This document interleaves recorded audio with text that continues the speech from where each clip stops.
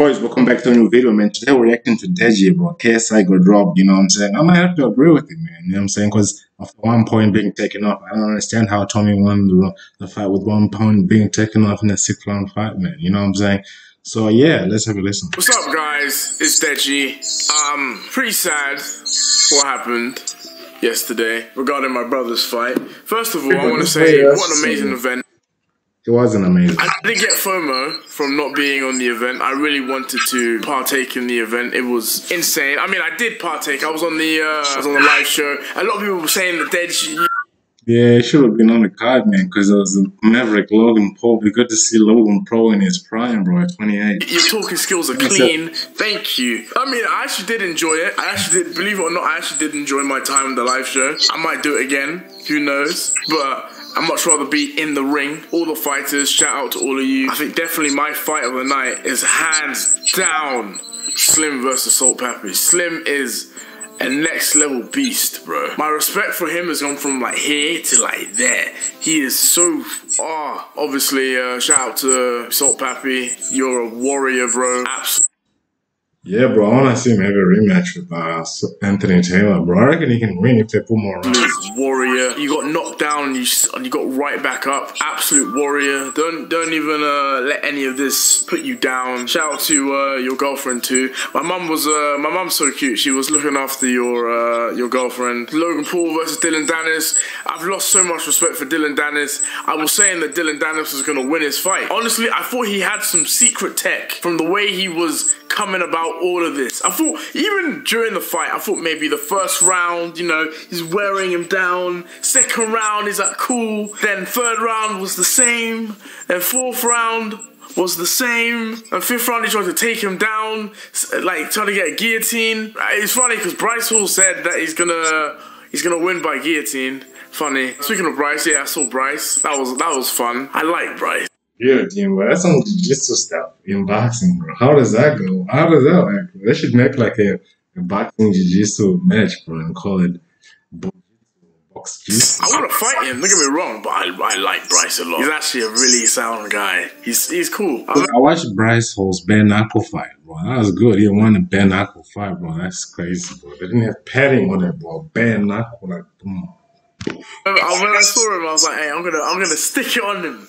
And then I saw him, I was like, bro, I can't. nah, I can even destroy you, bro. No offense.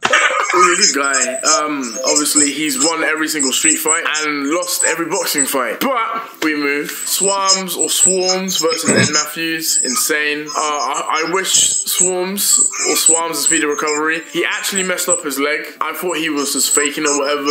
Don't get me wrong, Ed Matthews did land a shot on him, but he did mess up his leg. That's why he didn't get back up. I understand it. I've had that. I've had that before. Not from getting dropped, from like running and it, it's, it is not a nice pain, but it is it is what it is. Um, big up Ed Matthews. But alright, let's talk about the main thing. Alright, shout out to all the fighters, but let's talk about the main thing. JJ, my brother, he got robbed, hands down.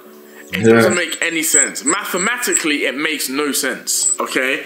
I, I I've been seeing the scorecards and everything. His punch to hit ratio was way higher than Tommy's. Tommy threw more punches, but they didn't land. JJ threw more punches that landed, and he and he had more of the heavier blows. And in the clinch. Yeah, that's true, boy. He landed more power shots. Tommy wasn't landing the jab because AJ was doing the Michael Venom Page hands down style was making it awkward. He was roughing him up. He was ruining Tommy in the clinch. Tommy's game was to obviously smother him, but JJ is very erratic. He was so erratic in the clinch, so he, he, he just really couldn't do much. But mathematically, it makes no sense because yeah, some people might say I was a lot of holding, bro. You know what I'm saying? I'm not ever agree. Of course, for No experience. Number one, it's not gonna be like a, a, thing fight because these guys don't have experience. You know what I'm saying? Tommy was hitting JJ in the back of the head many, many times, and he only got deducted one point. Tommy, I like Tommy. All right, he's he's cool. I would love to go on a night out with him. Very sound guy. But um, I, am sorry, I just disagree. He was hitting JJ in the, in the back of the head many, many times. Many, many times. That's how you cabbage a fighter. Okay, but then let's say, you know, just that one point that got deducted. JJ definitely won a round. That point that got deducted, so then that's now a 10-8 round. JJ definitely won more than one, two, three rounds. So mathematically, it just doesn't add up to the to how it goes to Tommy's way. Yeah, they said Tommy won four rounds and JJ won two rounds. You know what I'm saying? Even if Tommy won all the rounds or whatever, it's a draw. If you if you equate it correctly, it's the draw. It doesn't even make sense. So I don't know what the judges were smoking because they were even getting some other fights messed up too. So I'm very confused at the at these judges. I'm, to my opinion, uh, this is this eh, eh, this is what. Yeah, man, boxing's a dangerous sport. It's also a corrupt sport, man. You know what I'm saying? And that's why you can't leave it in the judges, bro. I think. I think they didn't want JJ to win because it will it will make a mockery of the sport, letting JJ, a YouTuber, beat a, a professional boxer, Tommy Fury. That's what I believed. I, I that's, that's what I think. They just they didn't want that, as well as it's the Fury name that was on the line. It, it would somewhat tarnish the Fury name if a YouTuber beat a professional boxer in the in the Fury family, which in my opinion is just a bit insane because that's not fair. It just shows that boxing is there's so much corruption in the sport. It's that's what I was saying. Of course, bro. He's right. disgusting, bro. Like just seeing that alone has probably turned off a lot of people from boxing, which is yeah, definitely turned me off too, bro. Sad because that's not what we try and do. We want fair equality in the sport. So why? So what's the point of doing that? JJ wasn't even like sad. He was just pissed off. He was just angry. He was more confused, bemused. Like he won the fight. Yeah, I would be too. Yeah, but the judges, he won the fight, but the judges gave it to Tommy. You know what I'm saying? Because he was the hometown fighter too.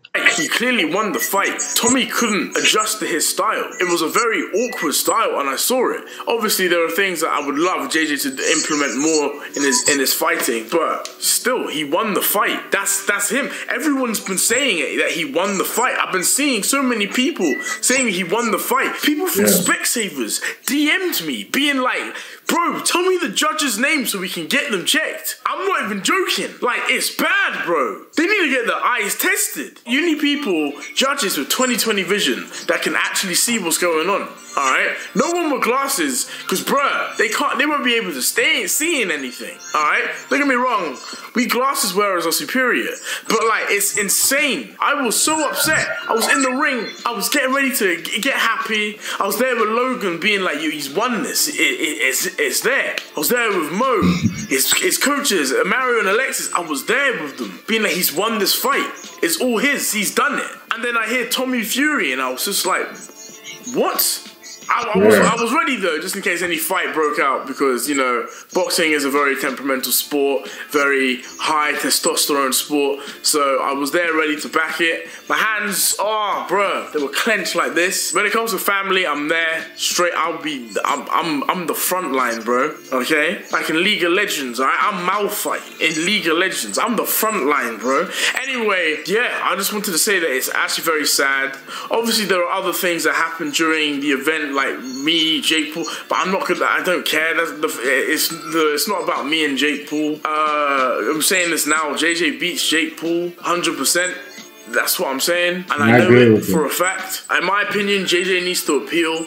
He should appeal, and he should, and uh, I, I I believe he'll get the. You, I believe he'll get the appeal. But you know what? I'd much rather be in JJ's position than Tommy's, because Tommy's definitely getting people saying you lost. People telling him in his in his close circle saying you lost, bro.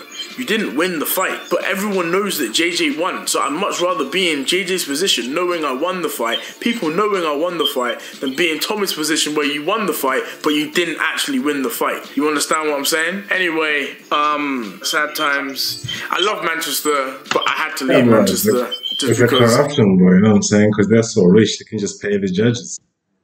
And guys, I really hope you did enjoy. If you did, drop shoes. Drop a like. Love you all. See you on the next video, man. And I'm out. Peace.